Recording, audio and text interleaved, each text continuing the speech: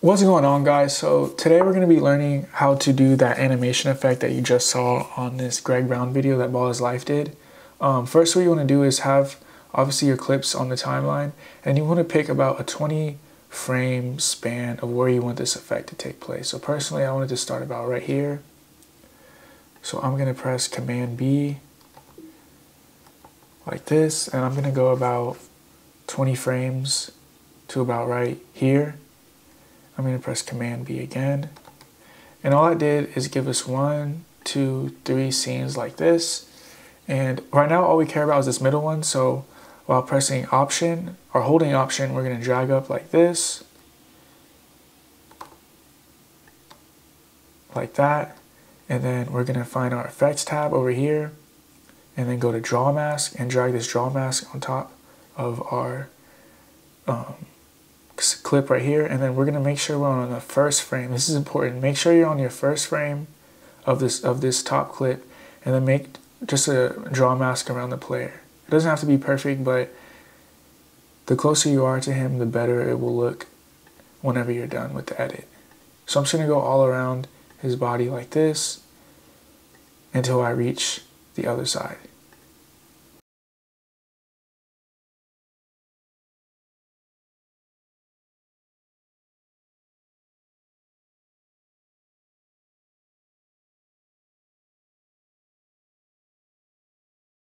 All right, so now that we have the draw mask selected all out on the first frame, we're gonna go into our draw mask and we're gonna make sure we press our keyframes on control points and all the transforms like this.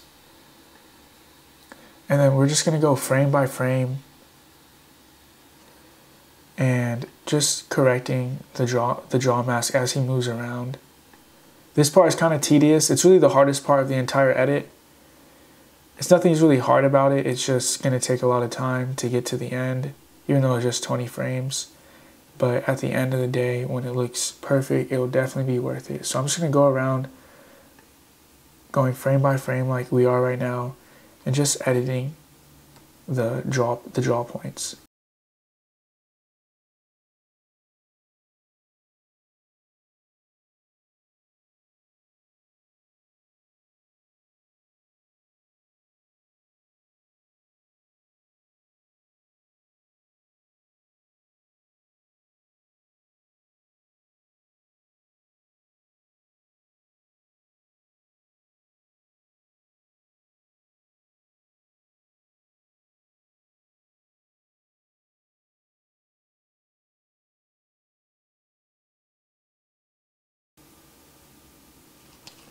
All right, so now that we have our draw mask all keyframed, um, we're gonna go over here to our effects tab.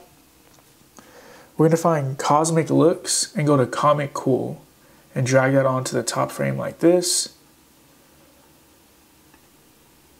And then we're gonna go to our colors. I'm gonna select black and white, but we're gonna change those colors to really whatever you you decide you want to use. You could keep it black and white.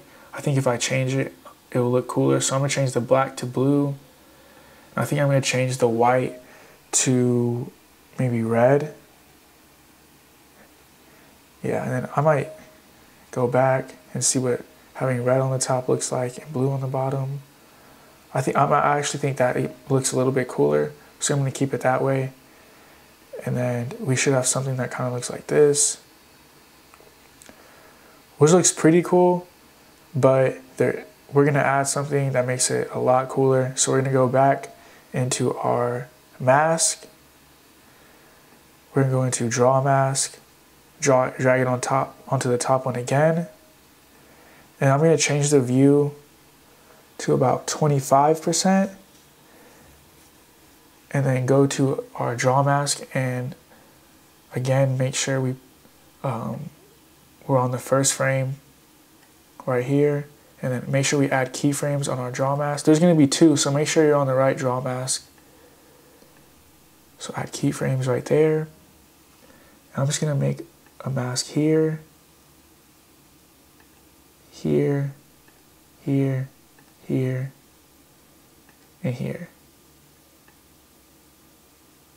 About right there. Try to make it as straight as possible. And then I'm gonna go about two frames and then drag up just a little bit. And we go two more frames and then drag it up again, go two frames, drag it up about right there. And every time you drag it up, try to keep it, try to drag up about the same distance as you did previously. It's not gonna be perfect, but if you make a conscious effort to do so, I think it will look a lot smoother whenever you look at your finished product. So now we're about hitting his face. So We're gonna go about right there, go two frames, right there, two frames, and then finish it out like this. So now if we go back,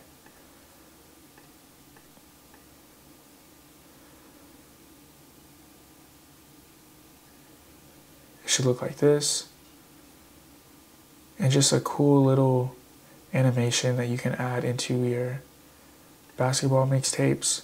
And then once that's done rendering, it should look something like this.